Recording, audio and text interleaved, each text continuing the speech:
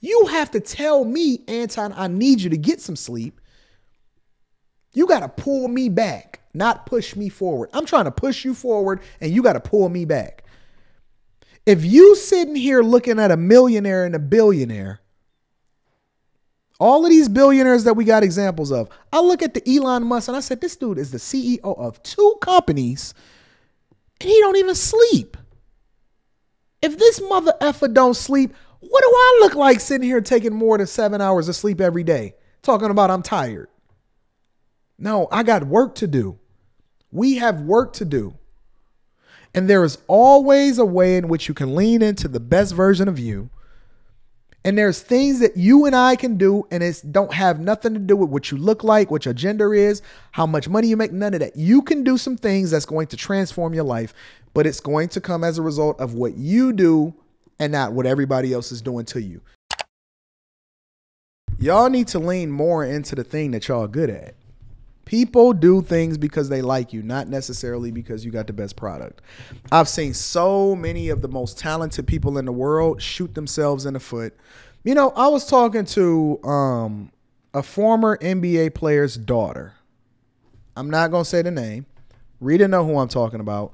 I was talking to a former NBA player's daughter.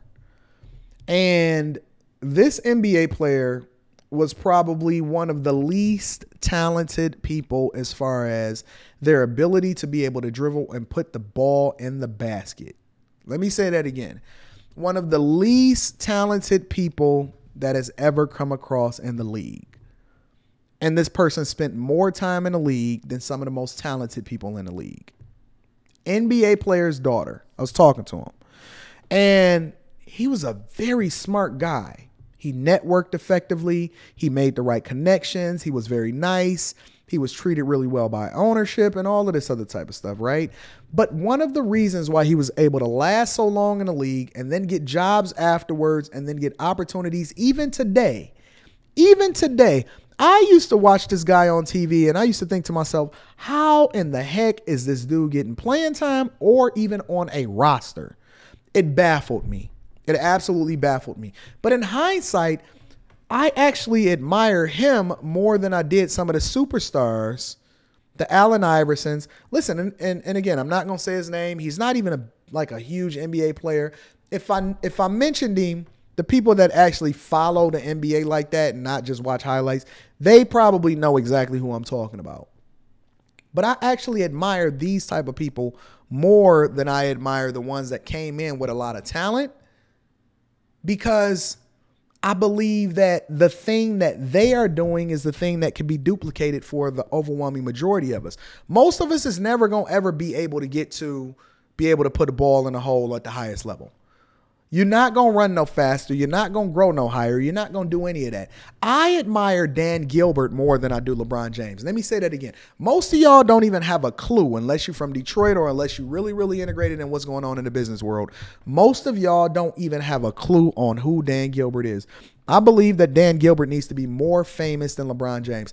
I was just reading the other day about how Dan Gilbert and his wife is allocating over a half a billion dollars of their own money and putting it into use from all of these like donating it to community programs, activists, lowering paying off people's property taxes in Detroit, all of these different things. They get no credit for it whatsoever. No credit for it whatsoever. You know what? They real hush hush about that. These is people that's actually putting money into the community. They built jobs in Detroit. They moved a whole company down into the city. They raised the property values. They built up and bought bought buildings and gave people jobs. They highlight all of these great businesses that y'all supposed to advocate for. Real talk. Nobody knows who Dan Gilbert is. The only thing that Dan Gilbert is majorly famous for is the letter that he wrote when LeBron James left the Cleveland Cavaliers and then he, LeBron came back. This dude built a multi billion dollar company that he's still at the forefront of today. Rocket Companies literally went public, I believe, two years ago. I invested in it. That investment is doing absolutely phenomenal. See, Sack Please said, I didn't even know about Dan until LeBron got in the league. The thing about it, though, is that if you study Dan Gilbert's story, if you uh, study all of the isms, down at Quicken Quicken Loans and things like that, if you understand how he built the company, if you know what his work ethic was like, all of those type of things, these are things that we can literally duplicate and become richer than some of your favorite rappers. And it's not hard to do. I give so much game in the Patreon. Link is in the description as well as pinned to the top of the chat.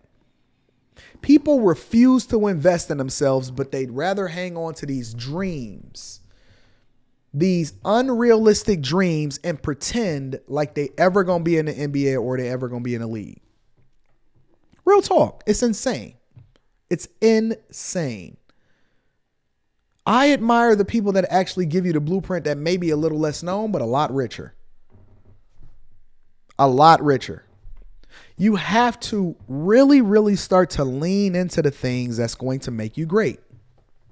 You got to lean into the thing that's going to make you great. I was never a really, really great communicator, but I've always had confidence. Throughout the years, and if you look at some of my older videos, I realized that you know what? Over time, if I'm very, very intentional and I continue to do these self checks and I and I practice, I'll be able to communicate a little bit more effectively than most people because I'm intentional, not because I'm better than them. I don't have any, any fear. I can overcome fear. You can work on your communication. You can network effectively. You can be a nice person. You can actually take time out and then plan out your schedule so that you utilize your 24 hours more than everybody else. You can be consistent. These are things that all of us have at our disposal, but very few of us want to lean into. And then we want to complain about rich people. Yeah, I went and bought my Rolex. Cash. Showed you the receipt yesterday. I went and got mine. Cash. Didn't even blink doesn't even affect me even a little bit. You know why? Because of the things that's readily available as long as we hone our skills, we intentional, and we don't run into victim Olympics and we consistent long enough to get to the results. These are things that you can do that you can do, and you don't have to hope to hit the lottery as far as becoming a rapper and getting a bad contract. Yeah, I'm richer than your favorite rapper. Unless he Drake or Jay-Z or something like that. But you can get to the bag.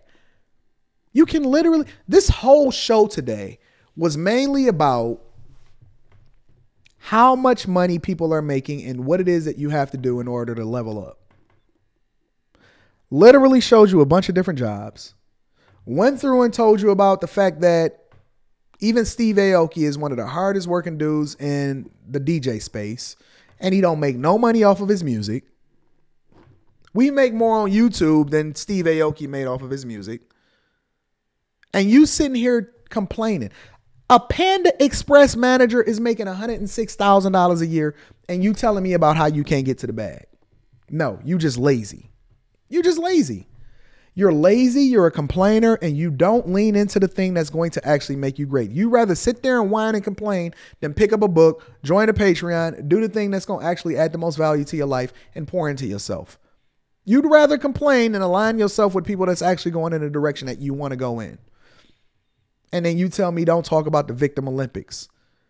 Now everybody is saying the term victim Olympics. I'm glad that they said it. I'm glad that I said it now that they saying it because I'm so tired of people leaning on things that people did before them that they didn't even that they didn't even go through in order to make an excuse as to why they can't get to the bag. Stop. Stop. Take this with you. Take this with you. If you didn't hear anything else I said, whenever I'm on a coaching call and I get to about the second or third coaching call, if I don't see you actually doing the homework that I gave you in order to continue to make yourself better, I ask my people the question. I said, This is insane. They say, Why, Anton? I said, Because I feel like I want you to be successful more than you do. They said, How you figure that? You don't know how I feel. I said, Yeah, I do. They said, How? I said, It translates in your actions because if I'm a millionaire and I'm coaching you and I sleep less than you do and I work more, that means that I want it more than you do. If I'm coming into the phone calls more prepared for what it is that we're about to talk about on these coaching calls than you do, that means that I want it more than you do. I want you to be more successful than you want for yourself. You got a wife, you got kids, you got all of these people depending on you. When you telling me that somebody that's not even you want you to be more successful than yourself, that's insane to me. Nobody want Anton to be more successful than Anton. And you know how I know? Because I wake up at 4:30 in the morning. I'm the first one up and I'm the last one to sleep. You have to tell me, Anton, I need you to get some sleep. You got to pull me back not push me forward. I'm trying to push you forward and you got to pull me back. If you sitting here looking at a millionaire and a billionaire, all of these billionaires that we got examples of, I look at the Elon Musk and I said, this dude is the CEO of two companies and he don't even sleep. If this mother effer don't sleep, what do I look like sitting here taking more than seven hours of sleep every day? Talking about I'm tired. No, I got work to do. We have work to do. And there is always a way in which you can lean into the best version of you. And there's things that you and I can do, and it don't have nothing to do with what you look like, what your gender is, how much money you make, none of that. You can do some things that's going to transform your life, but it's going to come as a result of what you do and not what everybody else is doing to you. My father always told me life is 10% of what happens to you, 90% of how you react to it. It's all on you. It's all on you.